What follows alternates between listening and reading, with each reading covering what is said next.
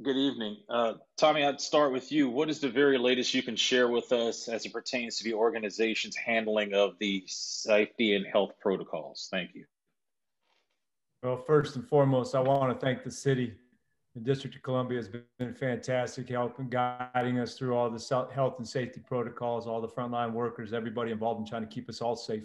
Uh, we want to salute them and thank them. But Chris, the answer to your question, we, we have nine players right now that are in protocol six have tested positive for COVID. And we are certainly not going to be able to play these games on Sunday and Monday. Uh, it's a day to day thing uh, as we get ready to see what's next beyond Sunday and Monday, certainly. But we've stuck together. Everybody's in a good place. I, I think we have a, a very resilient team. It's just an unfortunate set of circumstances. If you follow our track, really going back to when we played Chicago, uh, almost every team we've played had a player test positive the next day, the next day, multiple players at some places. It, it was inevitable. The NBA has been pointing to this period for quite some time that this was going to be very difficult, and uh, they weren't kidding. We hit every city that we went to. It just seemed to be more and more, and we would have. You, you, never want to say, "Well, we escaped," or no, "Nothing's going wrong for us yet," because you just know inevitably something's going to be your turn, and, and this was our turn. Unfortunately, uh, we we took took a couple punches for sure, but we're all our players are in good spirits. Uh, very important also to, to consider all of our staff right now is healthy. So we're very grateful for that. But uh, what's ahead is going to be day by day, Chris. Tommy, just one follow up. I appreciate it. Um, is this the 10 to 14 day variety as pertains to the players that tested positive?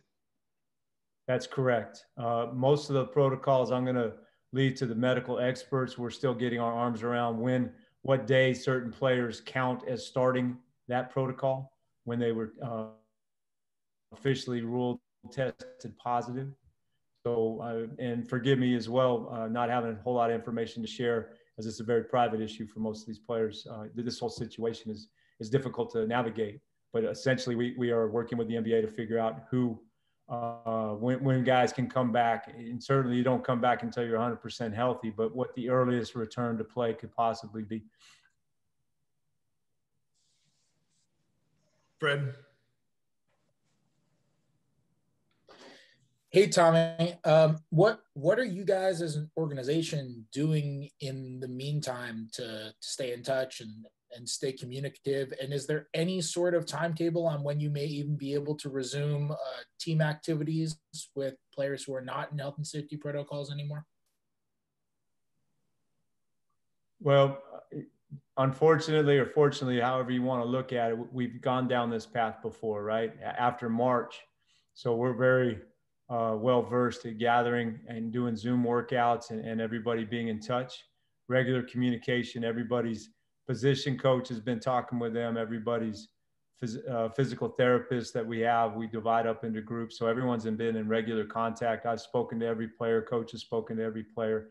So the, the communication's been great. In terms of activity, we've been very limited to zero uh, in terms of coming back to the facility. So that's why we utilize the Zoom workouts that we're familiar with. Um, and certainly the players that are in, that are in quarantine, the players that are uh, right now with, with COVID can't even work out. So it's a, it's a limited number that we can actually do. Uh, we're hoping if there's no negative, if there's no positive test tomorrow, that we can get guys back in the gym one on O, kind of similar to where we were preparing to go to the bubble uh, as we continue to test. Right now, everybody's testing twice a day.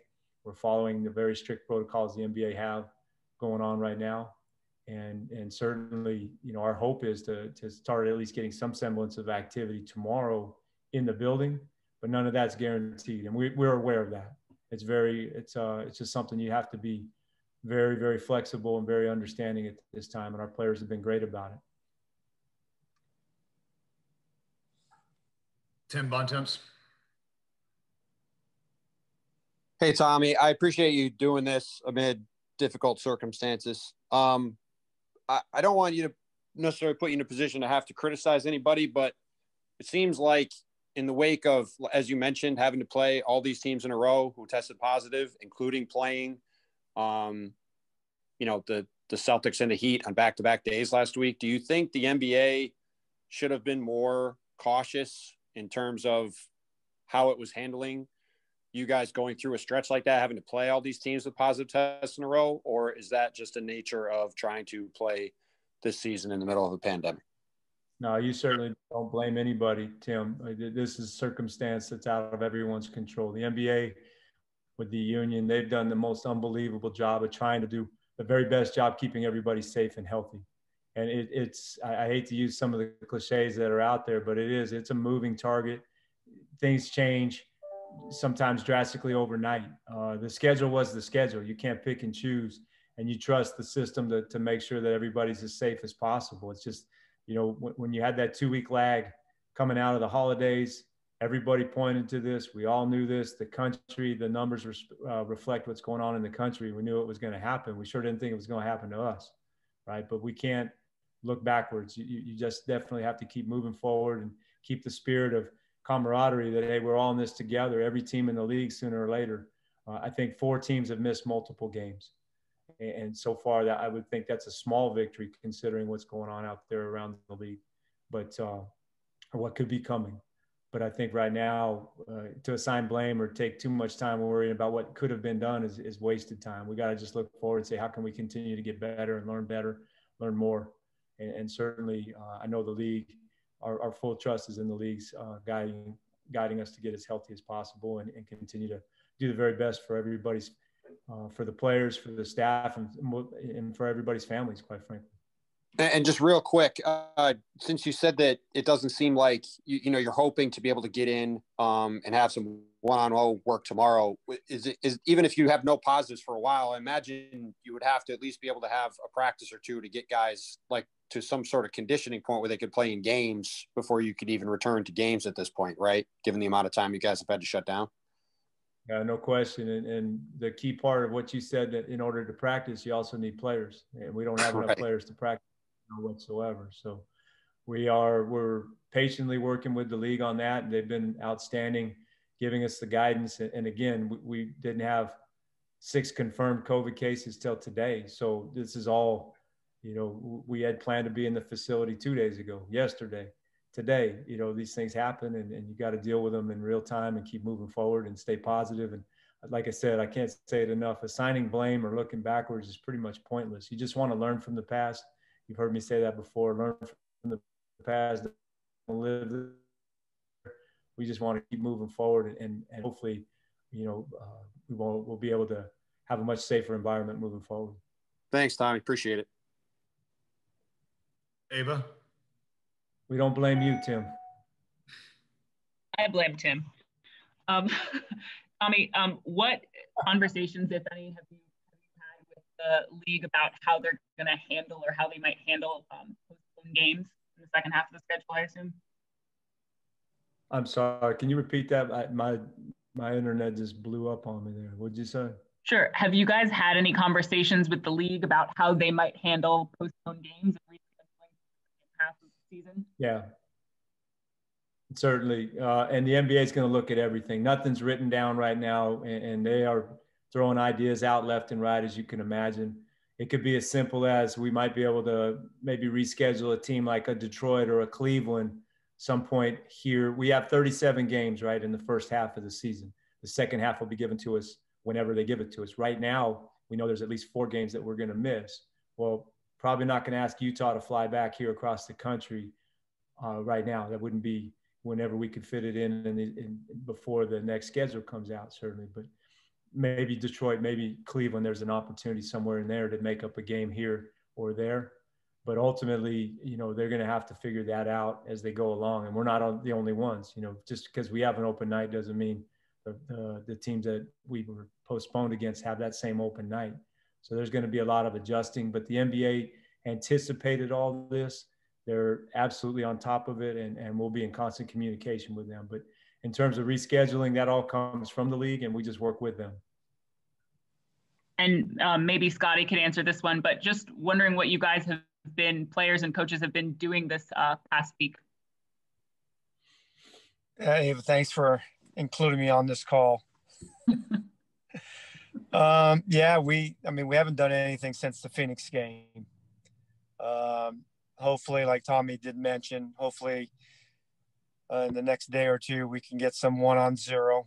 Uh, doesn't look like we're going to practice until probably early in the week. But right now, um, we got nine guys, six guys uh, positive, three guys in the protocol, and then we have Thomas Bryant out and Russell's still out. He'll be evaluated sometime early next week. So we only have six guys to practice if we if we do have a practice. Uh, but in the meantime, we're unfortunately I've I've always said I hope we never have to go to back to a Zoom workouts, but we have.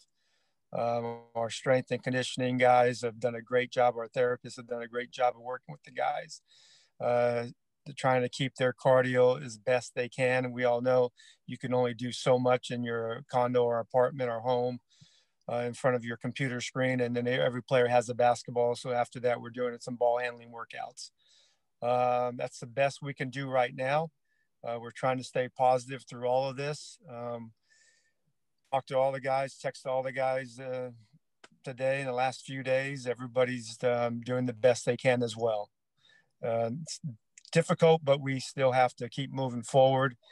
And the bottom line is we want everybody safe and, and continue to uh, stay healthy or get become or get on the mend of being uh, being getting back to being healthy.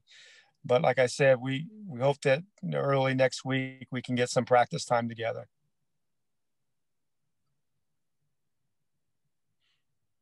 Tim Reynolds. Thanks, Scott. Um, Tommy, it's 14 teams now that have seen at least one game postponed. Obviously, you guys with the most. Knowing that it probably this isn't the end. Like, I mean, we all know that it, it, it would be naive to think this is going to get better today or tomorrow. Should the league consider a pause when you look at, you know, Philly played with seven, Philly and Miami played eight on eight a couple nights ago. You guys, if you get back on the court tomorrow, you'll probably have eight. You know, I mean, should should the league consider a pause at this point? You know, that's a great question for the league. Uh, where we at, we're going to support, and all of our players, you know, across the entire league have voted to keep continue to play. So I think the league has the best perspective on what's best for all the teams. I know for ourselves, you know, we were affected by it for sure. As I said before, with you have nine guys in protocol, six tested positive. Those are the facts but we don't we can't really help those circumstances and where there's not much i could advise other than you know what are we learning from that? And i think you'll see some adjustments coming in the next week or two maybe around testing or something that'll give us all much better uh, evidence earlier if there is possibly a, a, positive player that could possibly go to uh, before they ever get a chance to play in a game. And that's just the adjustments that everybody's having to do as we learn more and more you got to remember there's a new virus, there's a new strand of virus coming from the UK, from South Africa. How much are those affecting these? The, the, the positives are coming, it seems quicker now. So actually to be able to identify those quicker before that player ever gets on the game, I think that's ultimately what the league is doing right now. And we support the league. You know, it's it's tough to look back and, and, and wish you could have done things differently. I, we don't choose to do that. We always look forward and move forward and, and keep learning and, and getting better um, you know, it's definitely taken us out of our comfort zone. And I, I, think the way when you get out of your comfort zone, that's where the best growth actually happens. So we're all learning a lot about this, Tim. And, and I know Miami was impacted by it, and, and, so you're familiar what's going on. We, we all wish things could have been different, but I think we trust the league to do what's best for all the teams. One quick follow, Tommy. I know I know you guys today talked about adding a third two-way. Is that something that you think can help? And do, do you think? Well, the league just granted that, right? So yeah. literally just got off a call with the GMs and everybody's. Uh, I think that's an acknowledgement of how difficult it is to actually put a team together if you have multiple uh, positives. Grabbing guys, you know, uh, and and they have to be six days negative testing before they could ever enter your facility, stuff like that. That, that makes it really hard to go find somebody if you have an emergency like we do. So that that wasn't just for us. That's the whole league. We're going to be able to add a third two way, and we're certainly jumping on that uh, pretty darn quick. Thank you, Tommy. You're welcome. Chase. Hey, Tommy. Um, in the contact tracing process, uh, do you feel like you guys got to the root of it and was protocol broken by anyone? Like, how did this start? You know, those are all great questions. How did it start? Was protocol broken? You know, I think we, we're looking at things, Chase, that today may be true, tomorrow could be different. But to this point, none of our staff has tested positive. So we don't think it was interactions in our facility. We think we've done everything the right way at our facility. We, we have players that are out on the floor unmasked during the games. That's an obvious thing. Uh, they have exposure to each other. Sometimes on the bench, players will pull their mask down, talk to each other, things like that. We it, it, the the contact tracing is very necessary, but it's also difficult because it could have been anywhere, anytime, right? But but the fact that it's it hasn't jumped the wall, to, it hasn't extended past players, kind of makes you, at least uh, common sense wise, it would lead you to believe maybe it's happening because it's uh, contact out on the court or whatnot. Um, but there's not any one specific thing that you can point to and say it was this person that got it from this person. We know certain players guard each other longer than others during the game. Uh, second spectrum shows that, and that's something the NBA uses from contact tracing. But to, to try to say, hey, it was at this point or this person, that's what caused it, I don't think we'll ever be that evolved uh, in, in, this circumstance to figure out what it, what it, where and when exactly. But as I said before, every place that we played, there was a player the next night that was pulled out. And we weren't one of those, you know, after we played them, we kept testing negative, kept testing negative, we kept moving. But the incubation period of this is, you know, seven to 10 days. So it could turn on you in a hurry. And that's kind of, it was, I hate to say it, but it was our turn, right? This is just something that it hit us all at once. Other teams, they're hitting them a couple at a time, but we, we shouldn't feel special. Other teams have gone through this. Other teams will go through this. So we all have to, you know, like I keep telling our guys, is you don't want to be that person. Don't be on the wrong side of this. Continue to do all the right things. We believe we were doing the right things, and just unfortunate. You know, this thing is extremely contagious. And uh, Scott, you've been really positive and supportive about how the league has has put the protocols in place. Um, as you guys have tried to do this outside of a bubble, do, do you still have the same confidence that it can be done? Um, yeah, I mean, I, we still we trust in the NBA and the medical, the science, and everything behind it. Uh, they're going to put us in the best position as as possible. We know we knew going into it there's going to be uh, some bumps in the road. We just we got to keep um, navigating it's definitely going to be some uh, it's been some difficult days for us but we're going to have to continue to work together and and and, and move on um, don't know what you know it's day to day. We're, we're doing exactly what the nba uh, tells us to do and and and we're, we're moving day to day just like what they tell us to do and we're going forward. It's uh, something that we we don't make those decisions. We just um, follow the rules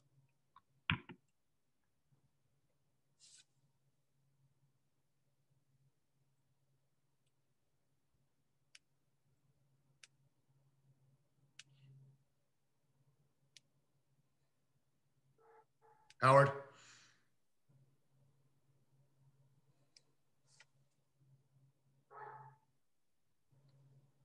Sorry.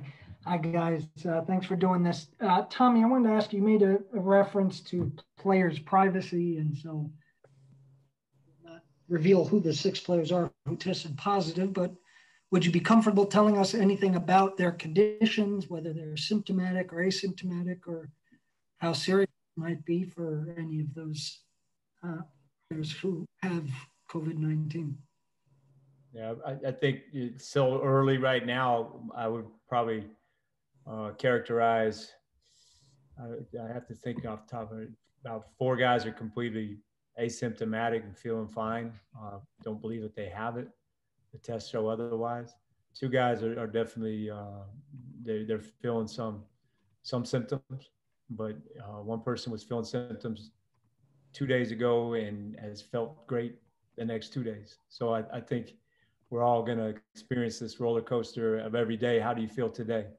And everybody seems to be the one consistent theme with this that there's no consistent theme with this. There's everybody has a different experience with this virus.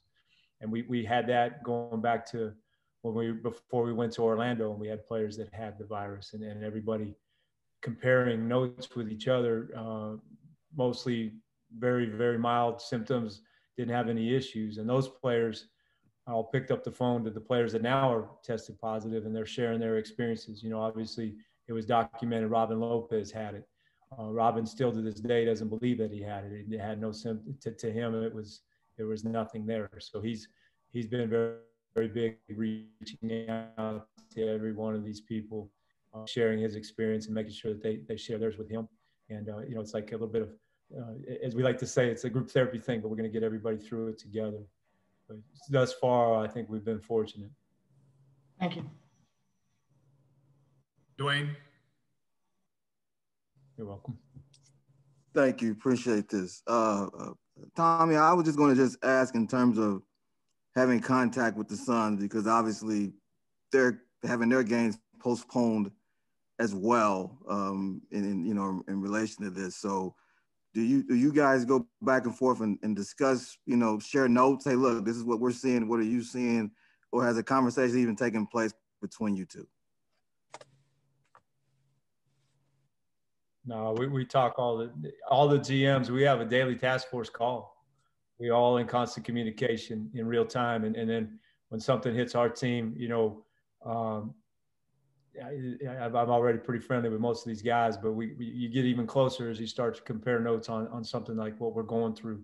Certainly, the GMs from Boston, from Philly, from Miami, uh, from Phoenix, we've all been comparing what's going on with our teams as games are getting canceled. With Cleveland, you know, certainly they they had similar experiences before.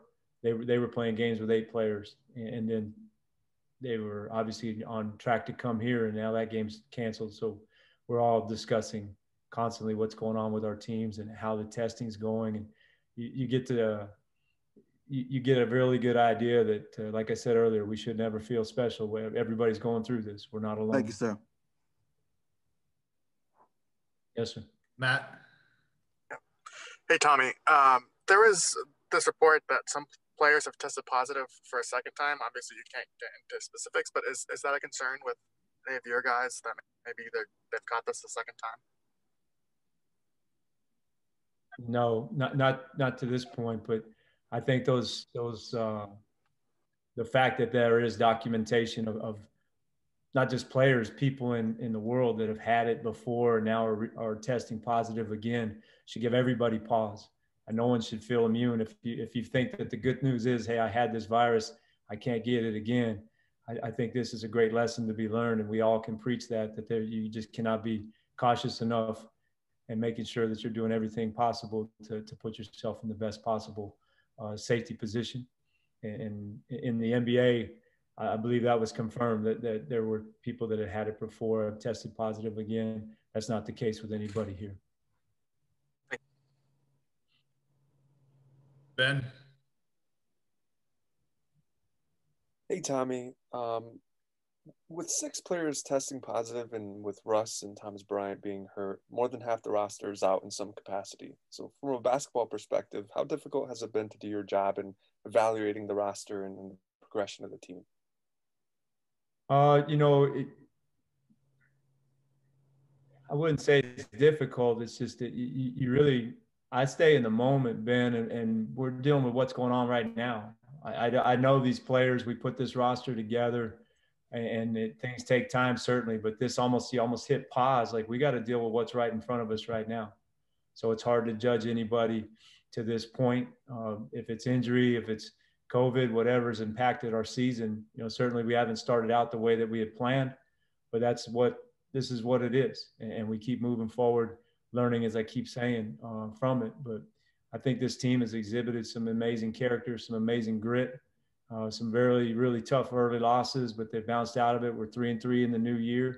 And, uh, you know, like you said, if there's any silver lining whatsoever, we had some players that are, you know, certainly losing Thomas Bryant was horrible, but we had some players that, that uh, I think stepped up.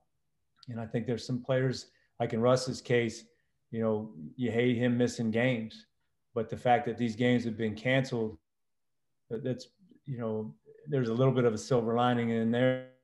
We know we're able to play in more games this year. You know, the season's just kind of so compact right now. If you, if you miss uh, three or four days, you might miss two or three games. and that, that's that's normal really in the NBA. But that's a lot of games if, if you're only playing a 72 game season. So, uh, but but I, I we pretty much know who we have, what we're dealing with here, and I'm really excited about the young players. I'm excited about the vets we added, and certainly, you know, I can't say enough about Bradley Beal and the season he's having right now, and where we know he is. Uh, he continues to lead this franchise, and he continues to raise his game. And uh, I can't say enough about his leadership. He's been fantastic. Winston.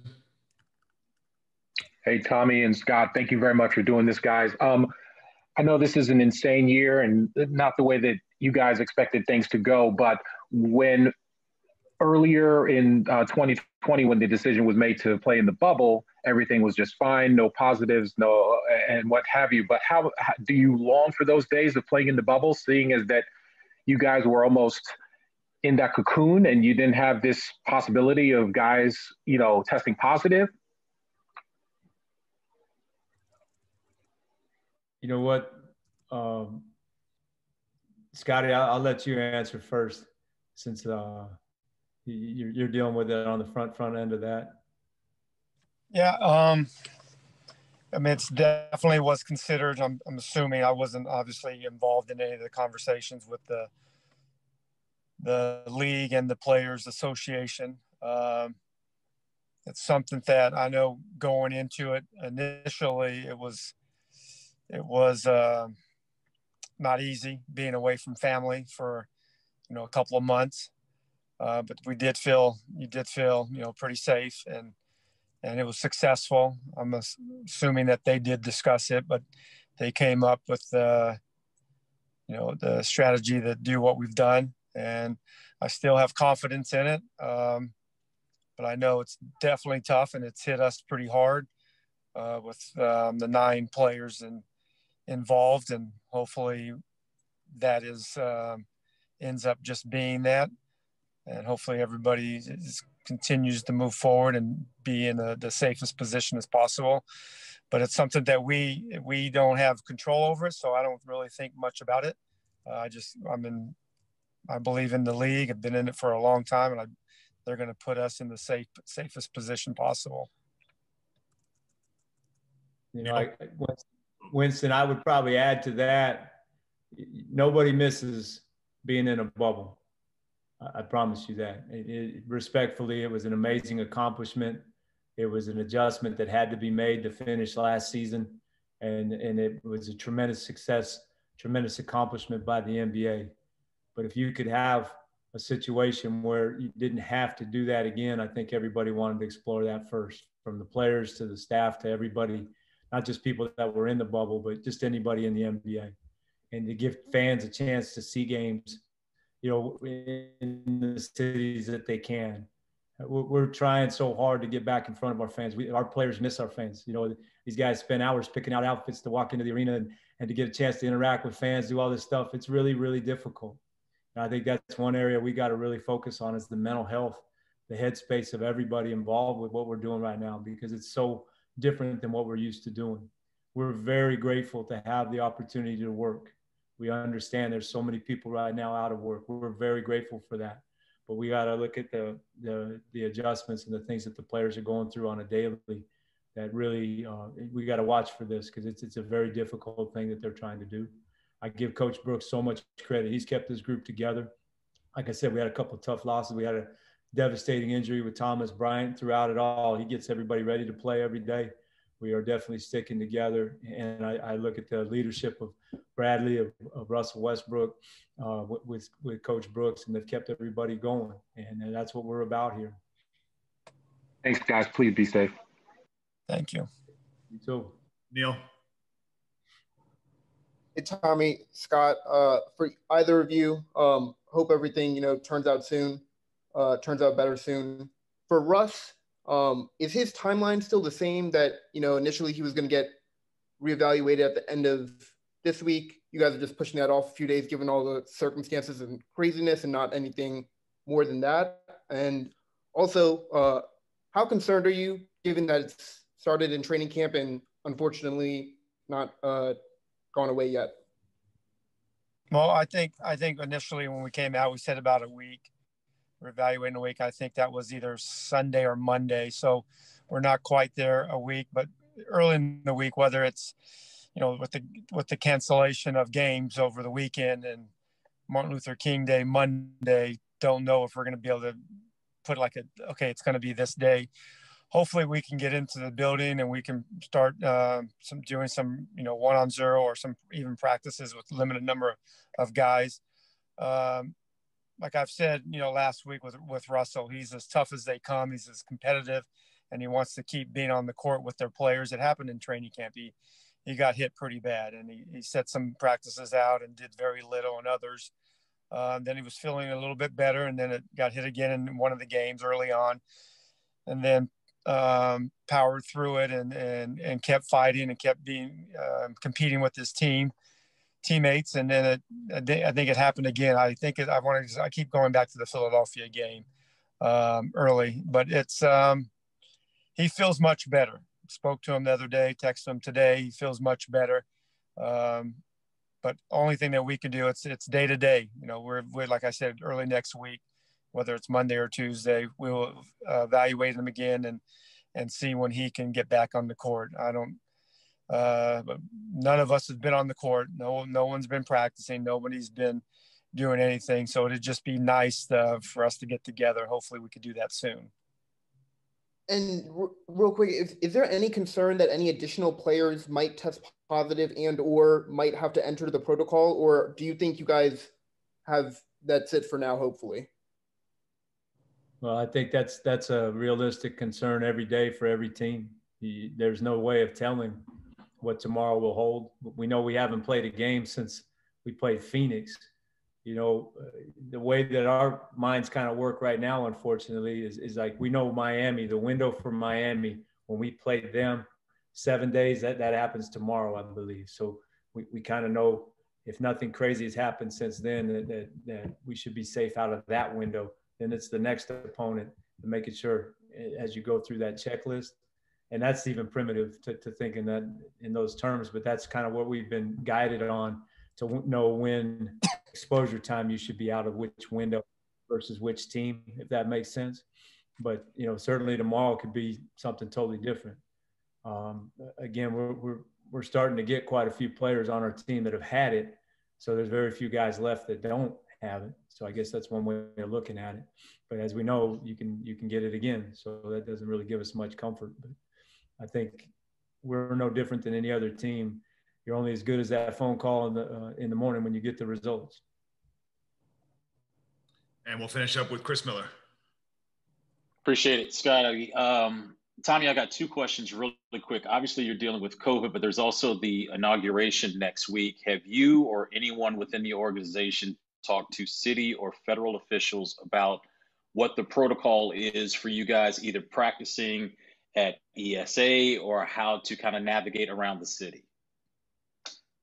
Unfortunately, Chris, uh, we've had a fantastic relationship with, with, with the District of Columbia and the mayor's office, and they're in constant contact. Um, we're out of town during that the inauguration period around that, so that's not going to affect our practice or where we are at. But certainly, our our our, our hope is that it's a very peaceful day. Uh, our country needs that badly. And the final question is about the appointment of Amber becoming the new Capital City Go-Go general manager. Best Could news be. we heard all day. Exactly. You talk about time time for some good news. Couldn't be prouder. Uh, Amber deserves it. She originally came to the Wizards as an intern, worked her way up. She worked with the NBA. She worked with the Union.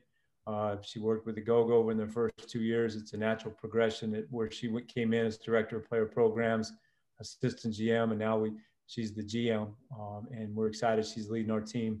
Our five players that we'll send along with Erie uh, to Orlando to the bubble down there. We're excited about her leadership and her future. And also, I, I, I text with her today, and I, I have it on text, and I'm going to save it when she becomes a general manager. I'm her number one hire as a consultant. And I just want to thank Coach Brooks again for jumping on here, his insight and everything. He's been he's been instrumental in this call. You guys keep asking him questions, please.